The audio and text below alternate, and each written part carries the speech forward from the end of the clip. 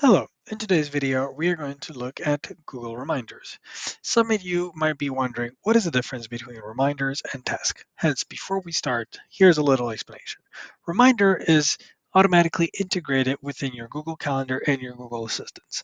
Hence, if you ever say, okay Google, can you set a reminder for this thing on this date, it will do it automatically. For task, on the contrary, it is an application that you will find that is not automatically integrated. And you will always find this application on the side panel on the right, right over here. Now, how do we use a reminder? For this, what you can always do is set a reminder at a specific hour, or you can set it for a specific date by clicking underneath the date in which you want to do it. As you will notice, both of these times you will have the event pop-up that will appear. One of the options that you will have is the reminder. In it, what do you find yourself to have? First and foremost, the title of the reminder. For instance, here I'm going to add record videos. Then what you can do is you can decide for what day it is.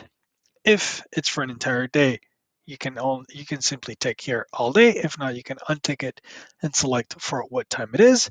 And then last but not least, if it repeats itself.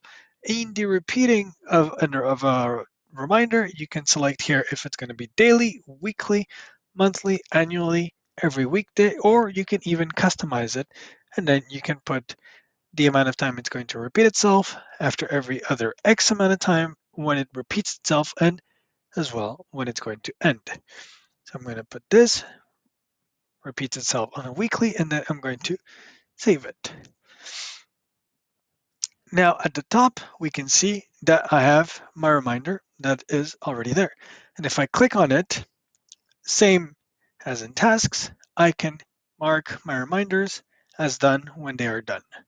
And this will be the same process every single time. That will be it. Thank you very much. Have a good day.